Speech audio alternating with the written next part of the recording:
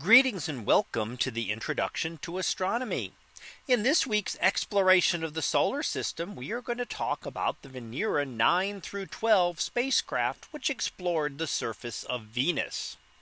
So let's take a look at these uh, craft and what we found out from them.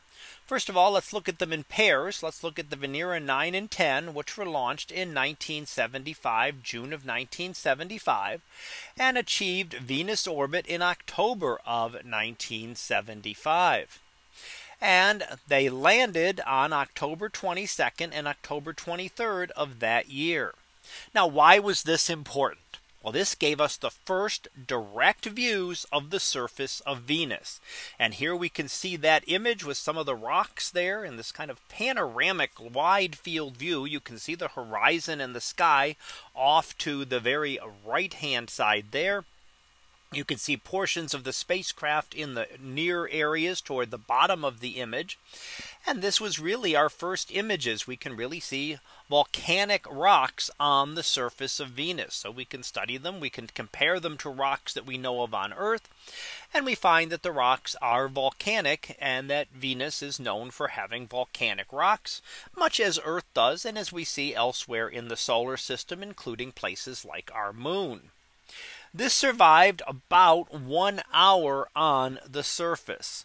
So we were able to study and see images like the one we show here as well as another one this one from Venera 10 and again uh, you can see the craft in the foreground and you can see some of the uh, rocks out there.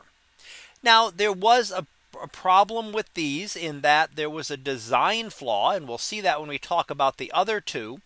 But there were two cameras and only one lens cap came off. So certain types of images, wider field view images were unable to be obtained one hour on the surface because the conditions on Venus are so intense very high temperatures very high pressures and a corrosive atmosphere especially the upper levels of the atmosphere are highly corrosive and therefore not very good holding up to uh, spacecraft traveling through them. Venera 11 and 12 also had issues. They were about three years later in 1978 uh, were launched in September and landed in December on December 21st and 25th. And this is the design flaw that I already mentioned. The lens cap did not separate. These ones gave us no images because the lens cap stayed on the camera.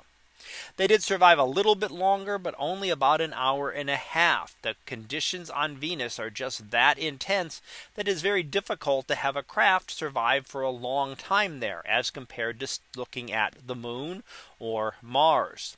However, the Venera 11 and 12 craft did detect a few things such as evidence of lightning and carbon monoxide in the atmosphere. So let's go ahead and finish up with our summary and see what we've talked about with the Venera 9 through 12 craft.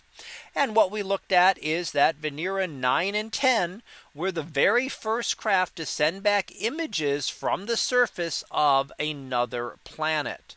They found evidence of volcanic rocks on the surface and are our only direct views of the surface of Venus. The Venera 11 and 12 gave us some additional studies of the atmosphere. But because the lens caps did not separate, no images were obtained by these craft.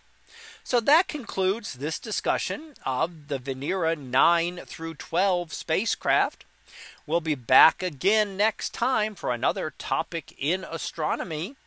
So until then, have a great day, everyone and I will see you in class.